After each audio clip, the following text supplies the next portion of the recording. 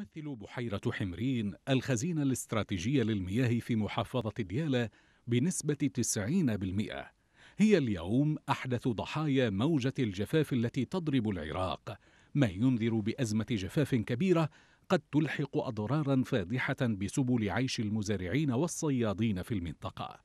فلأول مرة منذ أربعين عاما توشك البحيرة على الاختفاء الذي يقابله تجاهل حكومي وعدم توفير البدائل المناسبة كالآبار الجوفية لتعويض المزارعين عن هذا النقص.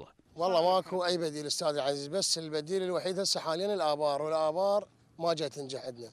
نجاحها ضعيف. يعني ذاك اليوم ولد يمنا حفر بير 80 متر 80 متر وفشل عنده خطيهم خسر مطارات وغطاس وبواري تقريبا حوالي 5 4 ملايين خسر. وما استفاد. هاي على حسابه الشخصي ثمة ارتباط بين ندرة المياه في البحيرة وانخفاض خزين الآبار الجوفية مما يحرم المزارع من البدائل التي توفر له المياه ما يكبده خسائر فادحة نتيجة عطش الحيوانات والزرع وموت الكثير منها. عندي زرع واني العام زرعت جفت وأنا من الناس خسر الستة مليون بسبب المياه.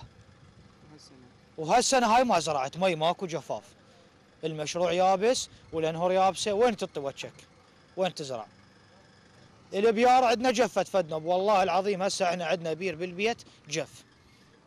جف قطاس هذا مال مي والبير ها للعلم البير 50 متر. 50 متر وجف.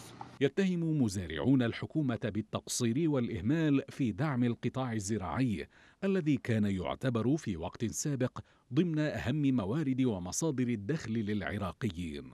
الحكومة الحالية التي تتعمد عدم توفير البدائل للمزارعين وعدم مساعدتهم تفتح في المقابل الأبواب للتجار لاستيراد المحاصيل والخضروات والفواكه بأسعار أغلى من أسعار ما ينتجه المزارع العراقي. نريد من الدولة البديل إحنا.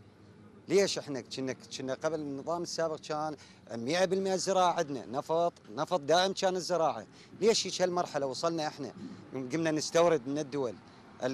أي شيء نستورده. هذا البصل أبسط شيء البصل نستورده.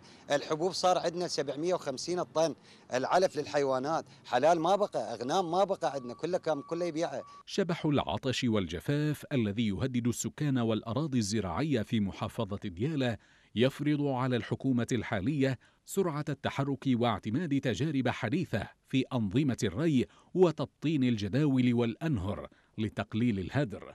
إضافة إلى السعي لتنسيق أكبر مع دول الجوار لتثبيت الحصة المائية للمحافظة.